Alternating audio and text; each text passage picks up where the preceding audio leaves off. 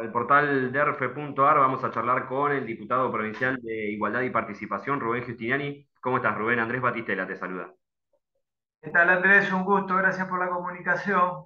El gusto es nuestro. Bueno, semana movidita en la legislatura y el tema que en este momento queremos charlar con vos, Rubén, tiene que ver con la exposición de, bueno, iba a ser de Rubén Rimoldi, ministro de Seguridad, y la secretaria técnica Ana Morel, pero terminó siendo más Morel que Rimoldi. A ver, eh, ponernos un poco en contexto este, qué era lo que tenían que exponer los funcionarios ante ustedes. Y yo lo que dije después de tres horas y media de reunión, que la situación había sido patética porque lo que podía haber llevado nada más que cinco o diez minutos, llevó tres horas y media con un cruce este, insustancial de descalificaciones, falta de respeto, bochornosa terminó siendo la reunión. Eh, el tema concreto era cuánto dinero había ejecutado el gobierno provincial que lo habilitaba la ley de emergencia en seguridad, que eran 3.746 millones de pesos que eh, la legislatura provincial había votado a pedido del mismo gobernador. Que a eso se le sumaban 300 millones más de la recaudación de la Agencia de Seguridad Vial. Eh, lo que quedó perfectamente claro que al día de hoy, que al día de hoy la ejecución de ese monto no alcanza a ser el 2%. Es decir, al día de hoy hay 54 millones de pesos ejecutados, con lo cual le restan hasta fin de año, en apenas dos meses que resta para fin de año, ejecutar el 98% restante. Eso es lo concreto que hay. Eh, las explicaciones, bueno, que hay 288 camionetas que están en curso, que están llegando, 5.500 chalecos antibalas que están en prueba y que teóricamente antes de fin de año se recibirían y se pagarían. Es decir, que está comprometido ese monto de dinero restante, pero lo que sale a la luz es una ineficiencia en el gasto, en un tema tan, tan fundamental que es la seguridad, que no hace falta este, abonar eh, lo que está pasando en las ciudades de Rosario, de Santa Fe, de Santo Tomé, la realidad provincial de inseguridad, en un tema que la provincia, el gobierno provincial ha mostrado un estrepitoso fracaso, cambios de ministro de seguridad, eh, y lo que hubiera permitido en esta reunión del día miércoles poder intercambiar con el ministro de Seguridad, preguntarle qué idea tiene para poder resolver o, avanzar sobre la cuestión de seguridad, realmente fue cuatro horas eh, en donde eh, fue un intercambio de fuegos artificiales sin necesidad y se perdió una oportunidad, bueno, hubo un compromiso del ministro de venir este, a a la legislatura nuevamente para que podamos conocer sus ideas acerca de, lo que debe ser la policía de la provincia de Santa Fe. Hay determinada cantidad de proyectos que tiene Estado parlamentario, que nosotros desde Igualdad hemos presentado con la diputada Agustina Donet, y que nos gustaría conocer la opinión del ministro. Claro, ahora este, en la justificación de funcionarios del gobierno en torno a lo que fue la actitud de Ana Morel, Em, lo que dicen es, bueno, es una funcionaria técnica y la pusieron en un ámbito político. Yo por los fragmentos que vi de, Morel, este, la, que estaba expresando posturas políticas eh, era ella, no respetando el protocolo. Digo, no está prohibido que ustedes este, le hagan consideraciones políticas a la funcionaria. Yo lo que veía era una Ana Morel que interrumpía, que iba por encima de lo que indica el protocolo, que este, inclusive llegó a agraviar de alguna manera también a los legisladores. Un bochorno, Andrés. La reunión fue un bochorno. Yo con mis años de legislador nunca vi una cosa igual. La verdad, nunca vi una cosa igual. Realmente lamentable. Eh, lo que quedó en concreto es lo que estoy diciendo, que yo creo que a lo mejor por eso, porque no podían demostrar que tenía una ejecución presupuestaria que ni siquiera llegaba al 2%, evidentemente eh, por ahí hubo alguna actitud de, no sé, de embarrar la cancha.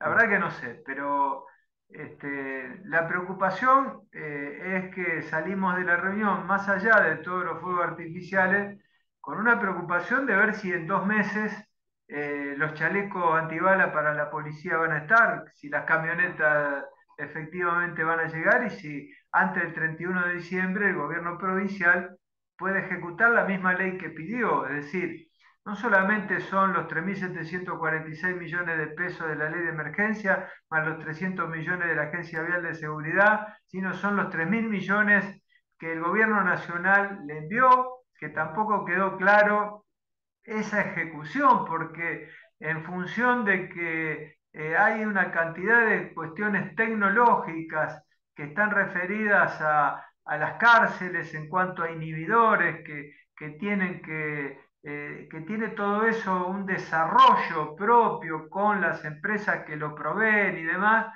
tampoco quedó claro si al día de hoy esos 3 mil millones del gobierno nacional van a ejecutarse antes del fin de año. O sea que, eh, y, ni hablar, ni hablemos del presupuesto, que es casi un 10% del presupuesto total provincial, el referido al Ministerio de Seguridad, que este, existen también bastante incertidumbre de qué porcentaje de ese presupuesto está ejecutado al momento y cuánto se va a ejecutar hasta fin de año.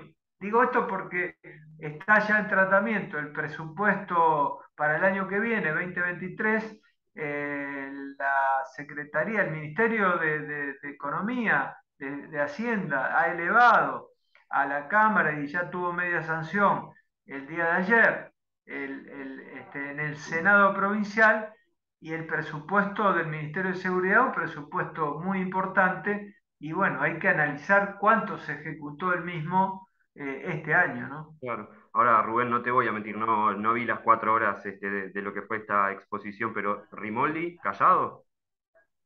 Sí, el ministro estuvo callado toda la reunión. Lamentablemente, como dije antes, no pudimos intercambiar con él, aprovechar la presencia del ministro acerca de la grave situación de inseguridad que padece la provincia de Santa Fe y bueno, se comprometió a ir en otra oportunidad este, a, la Cámara. Llamó la atención, sí, quien debía ser su subordinada prácticamente ocupó este, la totalidad de la reunión, ¿no?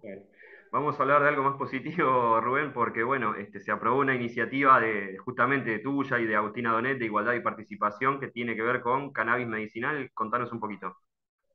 Sí, fue muy importante la media sanción que dimos ayer. Esta fue una iniciativa que en su momento presentamos desde Igualdad con Silvia Burger y que después retomó Agustina Doné, que ya había tenido en el 2020 una media sanción, lamentablemente no tratada por el Senado y que había caído, y que el día de ayer dimos un paso muy importante. Yo dije ayer en el recinto, en mi participación de fundamentación de la ley, eh, que había que hacer un reconocimiento a las mamá cannabis.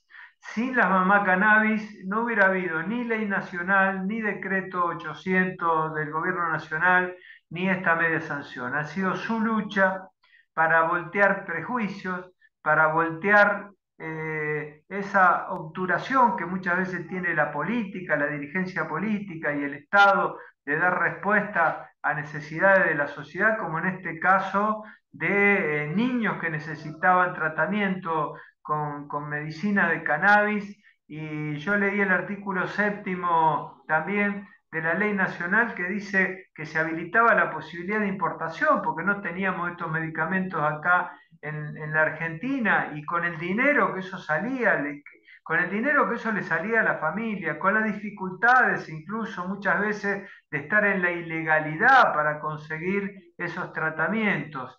Y bueno, hoy gracias a esa lucha podemos también reconocer que el gobierno de la provincia de Santa Fe junto con la provincia de Jujuy son dos provincias que hoy están en la fabricación de, de esos medicamentos, de esa producción de esos medicamentos que dan respuesta a muchas patologías que tienen muchísimos niños y mucha gente a lo de lo ancho del país. Por eso es un paso adelante, esta ley permite también reconocer, eh, como lo hace el ReproCram, que es el, registro de, productores, también en la provincia de Santa Fe, tener un registro, tener un programa y tener una producción este, propia de, cannabis medicinal. Así que eh, yo saludo este paso adelante, que ha sido una iniciativa nuestra, pero eh, que el puntapié fundamental lo dieron las mamás cannabis, las ONG que trabajan el tema,